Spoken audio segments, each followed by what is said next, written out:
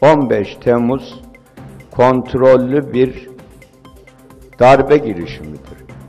AKP, 15 Temmuz'un kontrollü darbe olduğu iddiasından kendini kurtaramıyor. 15 Temmuz'a ilişkin Hakan Fidan tartışmaları sürerken AKP'li bir kalemden de istifa çağrısı geldi. Türkiye Gazetesi yazarı Fuat Uğur, kontrollü darbe tezinden kurtulmak istiyorsak Hakan Fidan'ın bir karar vermesi gerekir diye yazdı. Uğur'un yazısındaki ilgili bölüm şöyle. Ben şunu merak ediyorum. Sayın MİT Müsteşarı çok acil bir durum var. Genelkurmay Başkanımızla birlikteyiz. Sayın Cumhurbaşkanımızla mutlaka ve hemen görüşmemiz gerekiyor dese acaba ulaşamaz mıydı? Fidan saat 20.20'de Akar'ın yanından ayrılıyor. Aracındayken yeniden arayamaz mıydı? Şimdi böyle soruları ortaya atıyoruz diye kimse kızmasın.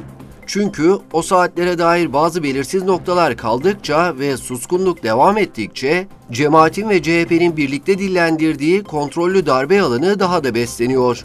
Ama bu yalan bizim bu tartışmayı yapmamızı engellememeli. Kafamızdaki tüm soruları sorabilmeliyiz. Öyle ya, eski başbakan erken saatte sığınağa gönderiliyor. Cari Başbakan Binali Yıldırım olayı vatandaşlarla birlikte öğreniyor. Telaşla aradığında da ona günün gelişen olaylarını aktarıyor. Cumhurbaşkanı Erdoğan sonradan açıkladığı üzere darbe girişiminden eniştesi sayesinde haberdar oluyor.